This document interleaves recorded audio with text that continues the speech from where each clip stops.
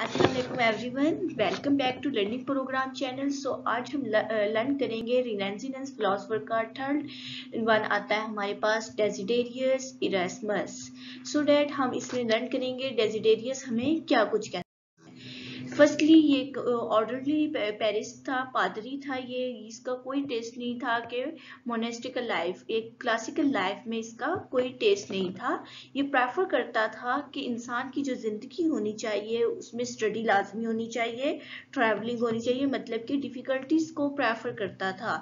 एक simple life को पसंद नहीं करता था, कहता था पर्सन को इंडिपेंडेंट होना चाहिए, उसे किसी पर डिपेंड नहीं करना चाहिए, उसे ट्रैवलिंग करनी चाहिए और स्टडी करनी चाहिए अपनी लाइफ में।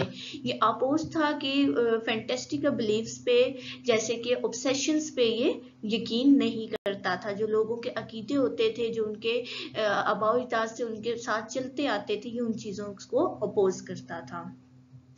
ये फाउंड करता था pointing out the mistake in the classical classically में अपनी नॉर्मल लाइफ में जो मिस्टेक्स होती हैं उन्हें पॉइंट आउट करता था और क्लेम करता था जो भी चीज़ वो कहता है ह्यूमन बींग्स जो है वो एक टोटली परफेक्ट नहीं हो सकते और ना ही वो कोई चीज़ परफेक्टली बना सकते हैं. सो so, चांस होता है कि आपकी किसी भी चीज़ में मिसअंडरस्टैंडिंग एंड रॉन्ग चीज़ों का क्रिएट होना है। उसके अलावा ये बिलीव करता था कि जो वॉर होती है वो फेंटेंसी फेंटेंसी होमिसिज्म की वजह से होती है। वो कहता है कि कोई भी चीज़ जो सी होती है वो होमिसिडेड नहीं होती।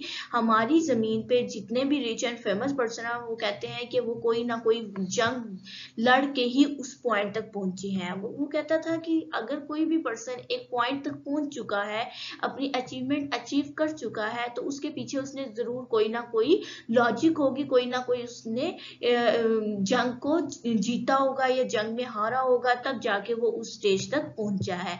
विदाउट एनी लेसन आप कभी भी कोई बड़ी अचीवमेंट नहीं ले सकते। इसकी बात का मकसद ये होता था। उसके अलावा इन्होंने कंप्लीट की थी एक book the praise of folly in fifteen twelve में इसने ये बुक्स कंप्लीट की थी। आई थिंक सो स्टूडेंट्स ये आपके पास इतना से इंट्रोडक्शन इज़ इनफ है फॉर द रिनाइसनेस पीरियड के शॉर्ट क्वेश्चन के पॉइंट ऑफ़ व्यू में डेजिडेरियस इरेस्मस का।